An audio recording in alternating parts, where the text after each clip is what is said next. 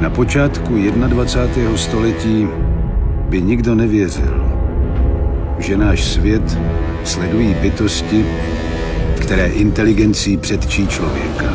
Mnohem vyvinutější, chladně kalkulující mozky, bez soucitu a pomalu a jistě proti nám spřádali své plány. A říká se jim cedníkový lid Pastafariáni. Válka světů. Dneska večír.